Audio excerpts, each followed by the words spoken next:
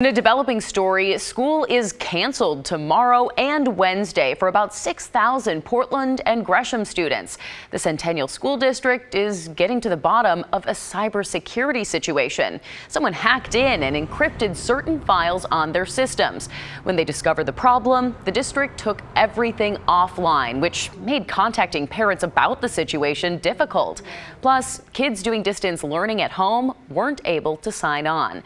The district reported the incident to federal law enforcement and launched an internal investigation with a cybersecurity firm.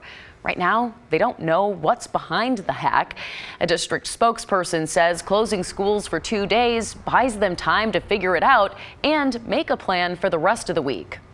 You know, and it's not anything any of us want to do. And we know that there are far more questions out there that our parents and students and staff have than we have answers for right now you know we're just trying to get a handle on this and we're we're going as fast as we can the district does not believe personal information was compromised, but they can't say for sure yet. This isn't the first time the district has had to deal with hackers. In 2018, high school students hacked into information systems, accessing details on current and former students.